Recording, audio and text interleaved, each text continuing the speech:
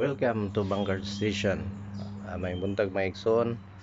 Ay, bago pa na nahuman ang akong framing, roofing sa akong giplano nga hydroponics NFT type nga system. Tapos vertical akong gihimo para ma-maximize na akong akong gamay nga area.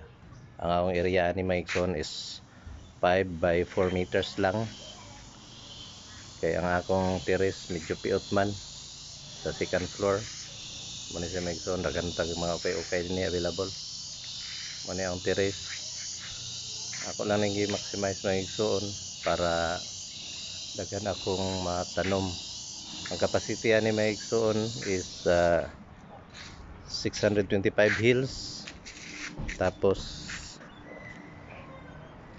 ako lang ning kwan testingan kung galuyan sa Ginoo maka-harvest tanig 600 plus ka litos.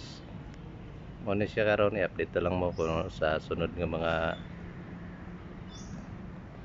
update ani para hantod mahuman.